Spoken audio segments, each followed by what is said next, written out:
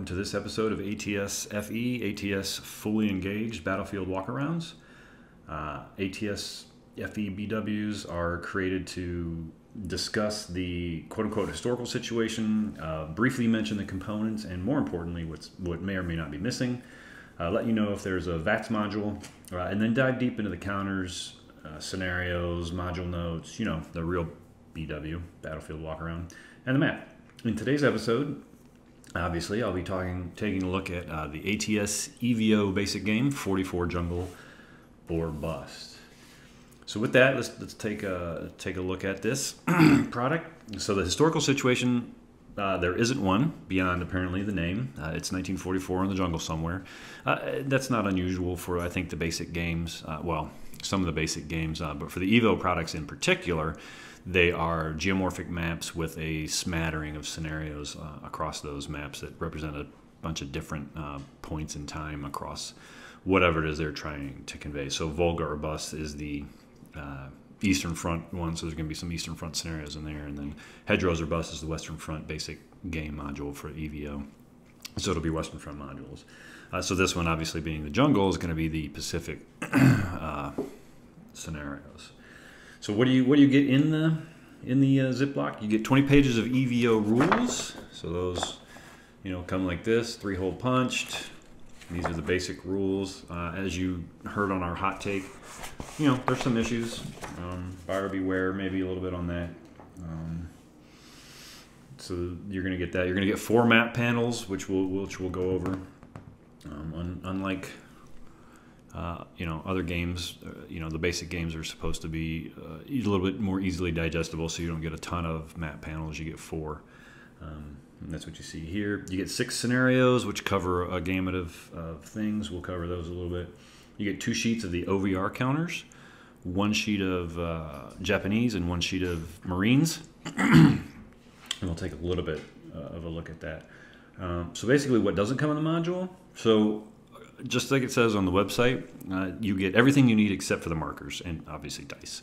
Uh, those you'll have to provide yourself. Yourself. Um, uh, th- these scenarios could be played with the regular ATS rules, but obviously it also comes with the EVO rules, so you could play them technically right out of the Ziploc as long as you have. Uh, I think it says large and small markers to go with it, so that, that's pretty good.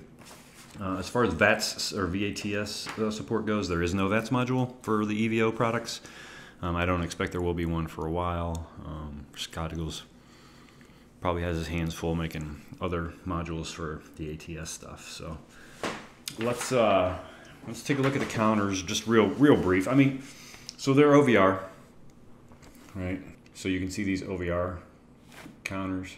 So the overhead view, if you flip them over, that's the prone view. This is the upright view, um, which of course is no longer used in the in the rules. You use a marker to, to do that.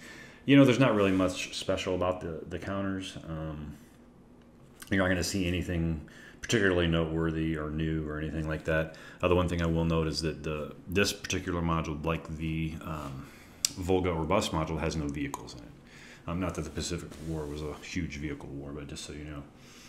Uh, so let's move on and talk about the scenarios a bit. You get six scenarios. Uh, they range from seven to eleven turns.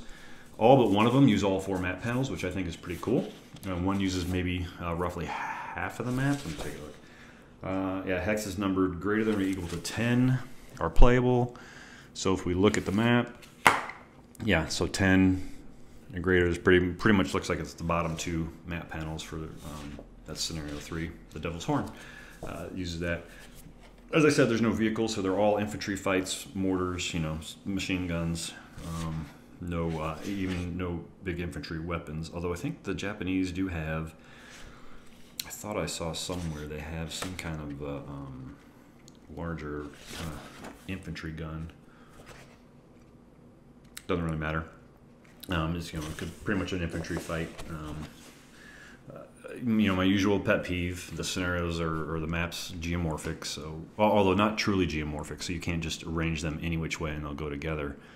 Um, uh, unlike a true geomorphic, this is a a map um, made up of four panels. So that's interesting. But of course, it doesn't represent any particular area. It's representative of, of um, all the areas from you know, let's see, Cape, Cape Gloucester, New Britain, to the Marianas, uh, Guam, to Peleliu, which we're going to talk about in a minute, to Iwo Jima. So that's, you know, the scenarios all cover that. So, uh,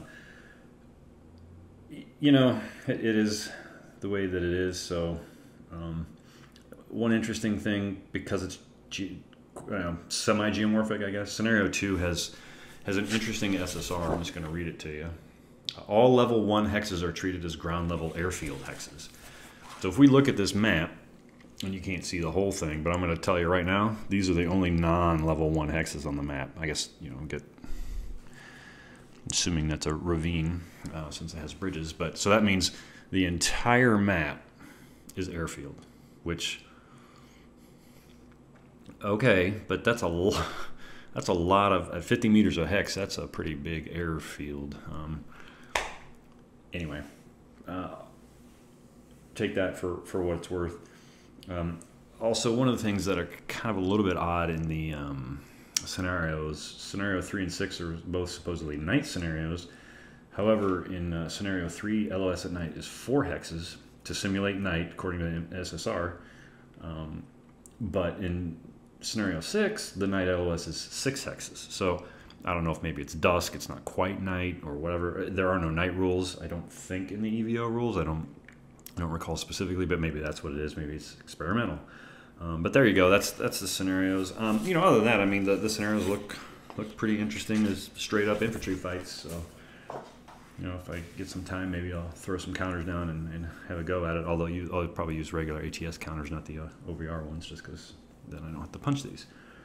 Um, so we've already kind of looked at the map. Let's take a look at it a little bit, a little bit uh, more in depth. As, as, mentioned above, scenario two makes every level level one hex into an airfield hex. It makes uh, for really odd billiard table effect across the map. I think because um, I guess you ignore all the uh, palm trees. We'll talk about that in a minute too. But um, in jungle hexes, everything's an airfield hex. So that's just strange. At least that, that's I'm assuming what that means. So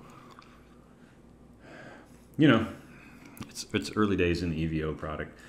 But, you know, on that, the jungle hexes, you know, where are they? That's my question. Uh, and and orchard. So let me back up a little bit. So here, here, right here. Let me zoom in, zoom in a little bit. Right, that's the jungle. Looks like woods, right? Those are palm trees. Wait, those look like orchards. This? No, no, no. Those are kunai, not crops, but they look like kunai. I mean, um, they're supposed to be kunai. So just as a, as a comparison, you know, I thought I'd pull out the Peleliu map. So if you zoom in, you can see, yeah, it looks like woods, but it's a much darker representation. I'm not sure. So you can see here right? Um, zoom in a little bit here. You can see the little, I don't know, fuzzy outlines. So those are palm trees. There's a couple other maps um, that have it even more.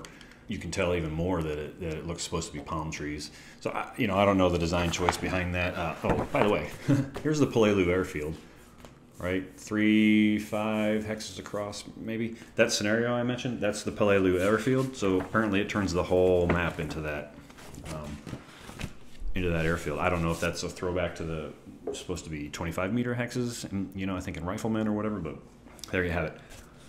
Uh, that's pretty much it. Uh, you're you know you're going to get six scenarios you can play on the map. You can play using your regular counters. You can use the OVR counters. You can use the ATS rules or the EVO rules. It doesn't really matter. Um, but that's what comes in the Ziploc, and that is the uh, 44. Get the back. 44 jungle, or bust. All right, hope you enjoyed.